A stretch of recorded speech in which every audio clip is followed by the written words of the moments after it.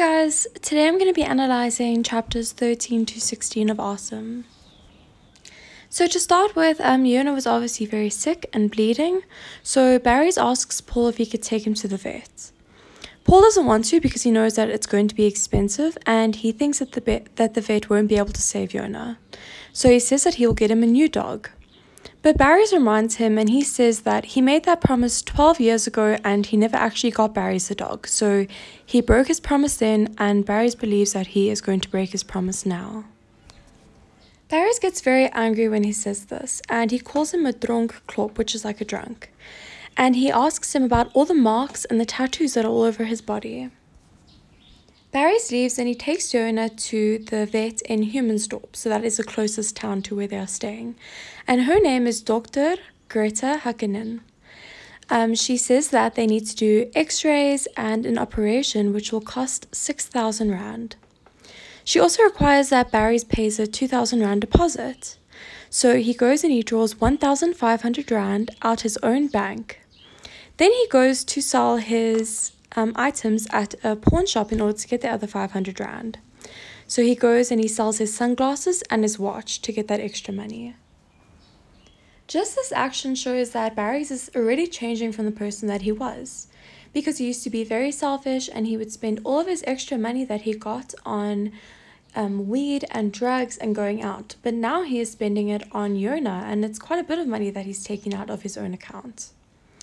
Um, as he's talking to Dr. Greta, she says that Yona is very lucky because Labradors, which is the dog that Yona is, or Golden Retrievers, they are very good swimmers and they can survive for long periods of time in cold water. So Yona was very lucky, and that's the reason why he's in such good condition, condition because those kinds of dogs can actually survive harsh conditions in water. She also says that Labradors are very good family dogs and she promises to do her best on him and to help him survive. Barry leaves the vet and goes back to his car. But while he's walking in the streets, he sees lots of people gaping at him and looking at him with a worried look on their faces. Eventually, he looks into the store um, window and he can see his reflection in that.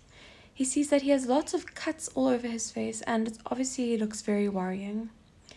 Um, while he's walking in the streets, he sees a Nigerian uh, drug dealer and he is tempted to buy weed, but instead he buys a collar for Yona. And this once again shows that he is changing from the person that he was before. And instead of prioritizing drugs, he is prioritizing another, not not a person's life, but another thing's life.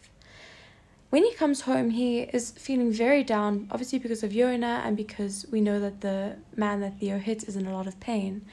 Um, so he thinks that weed is the only thing that helps him because he can't seem to feel happy.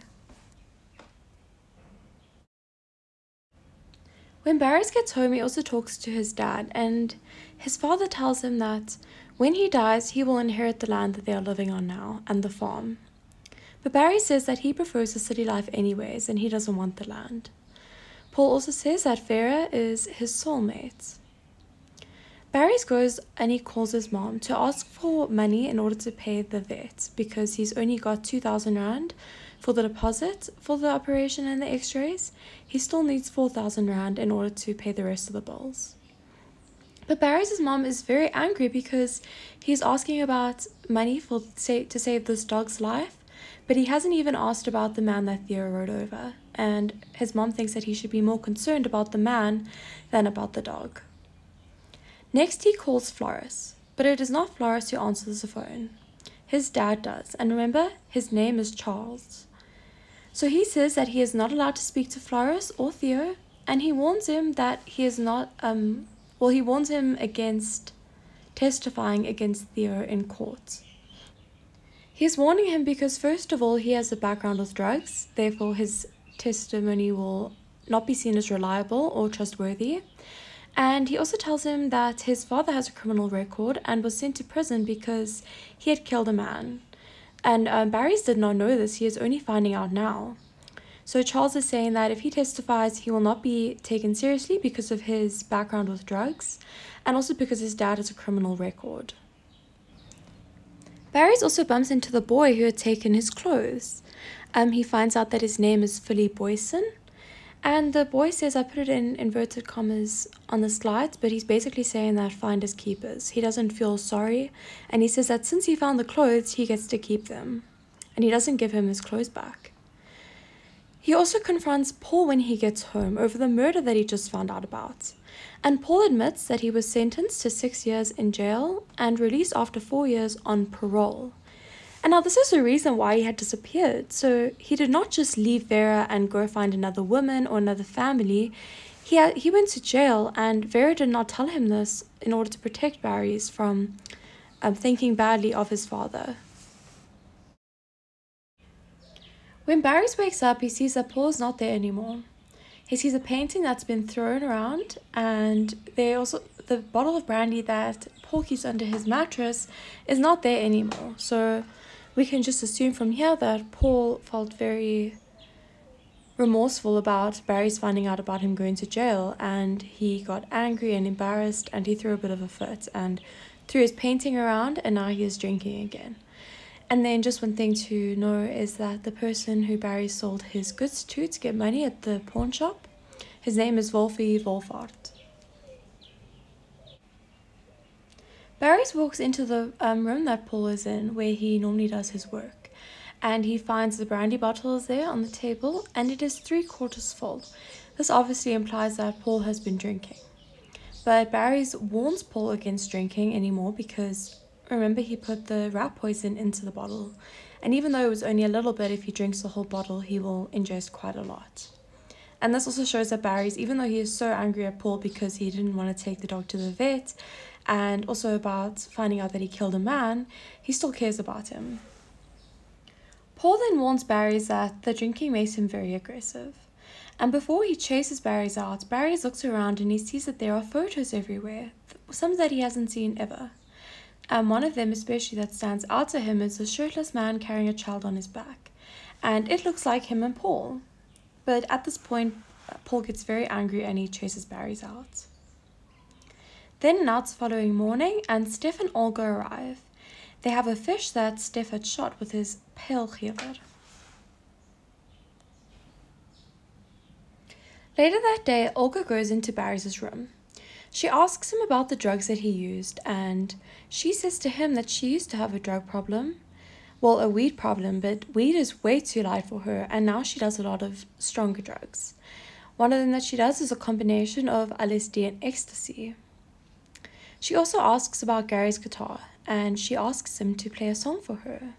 So she lies on the bed while Barry's plays the guitar and sings for her. Once she has left, Barry's calls the vet. She says that um, Yona needs to have an operation in Port Elizabeth and it will not cost 6,000 Rand but 8,000 Rand, so it's 2,000 Rand more expensive.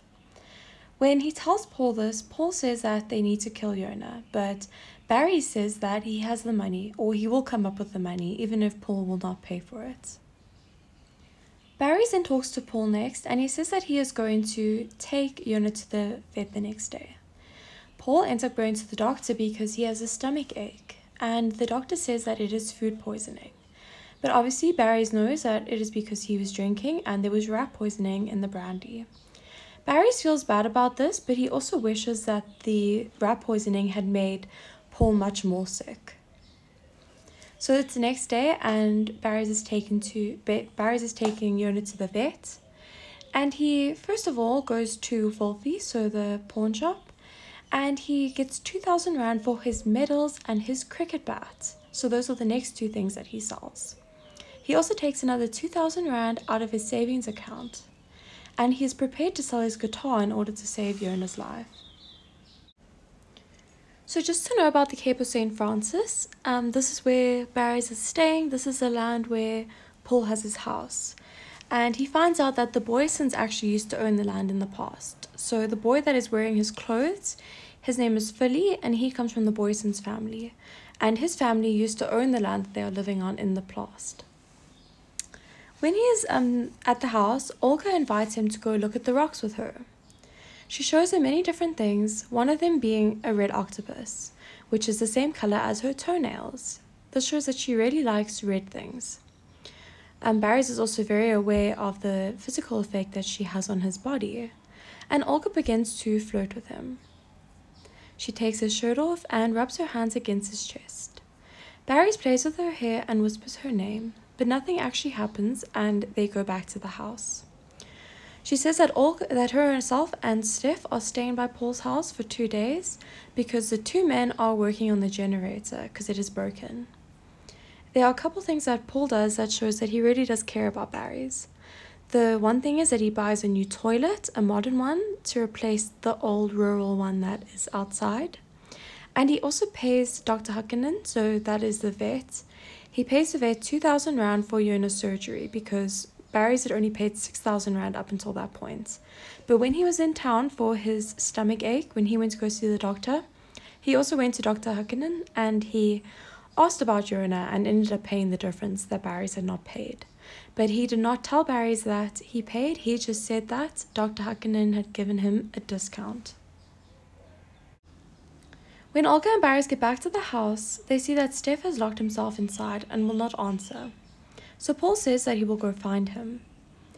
While he does that, Barry's asks Olga why she is with a man who abuses her. But she says that they had met in a medical hospital for the sick. So I think, I don't know if this is a rehab center or if it's like a um, mental hospital of some sort. But they are very dependent on one another because of this and how they met. Because obviously they met when they were both very vulnerable and they have stayed together since. She also warns him that she has a great sex appetite, so I think that may be one of her addictions other than drugs.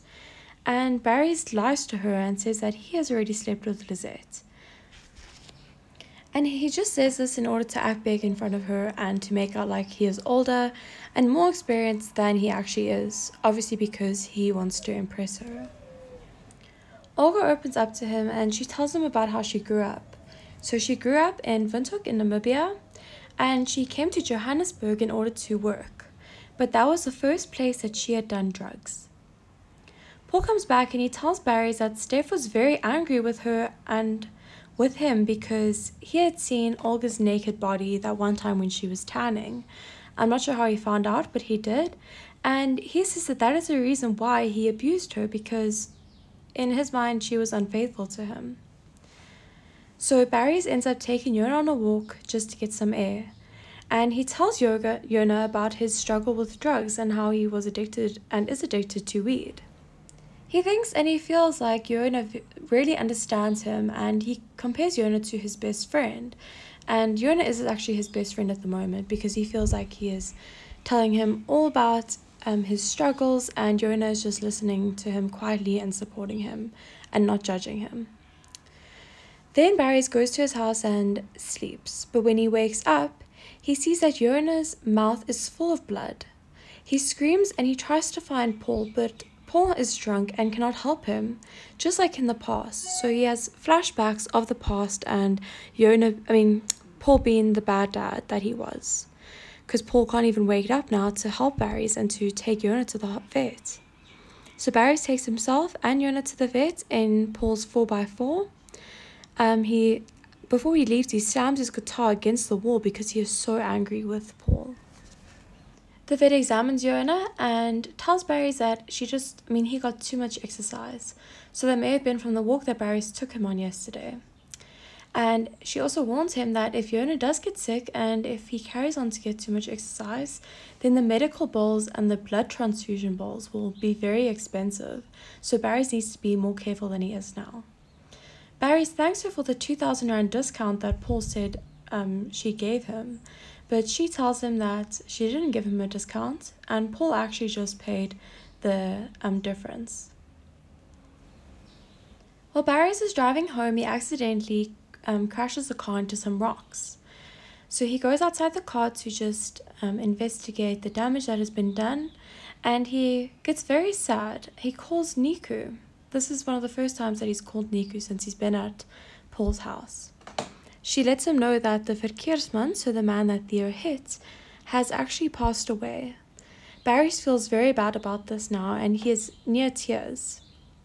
Now Theo is charged with manslaughter because the man has actually died. Barry continues to drive the rest of the way home. Paul asks him why he drove all the way into town alone.